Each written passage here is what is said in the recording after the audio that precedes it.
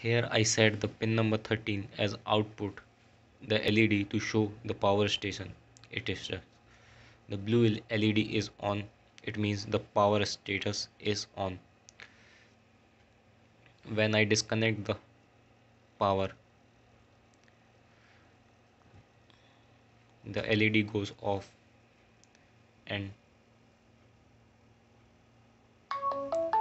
we receive the call for 10 seconds.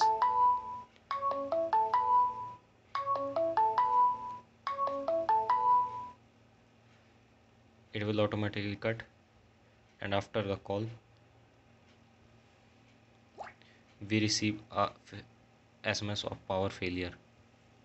Now I resume the power and connect it. The LED is on. It means the power is on here again we got a call.